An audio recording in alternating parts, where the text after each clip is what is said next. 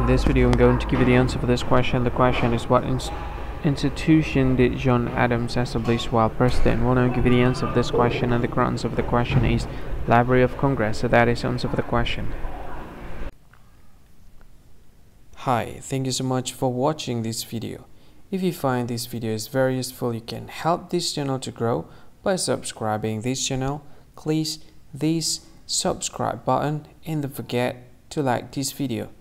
And if you find this video is not really good or you don't really like this video or you kind of feel that it's a little bit offensive or something like that, you can click this one, dislike button. You can do that anyway and if you want to share this video with your friend you can share it by clicking this share button and you can share it to any any social media that you wish that is currently available at this time like Facebook, Twitter, LinkedIn and many others right?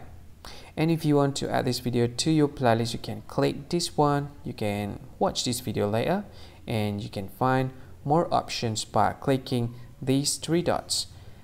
And yeah don't forget to subscribe. I think that's all of it. Thank you so much for watching this video and see you again in another video. Bye bye see you again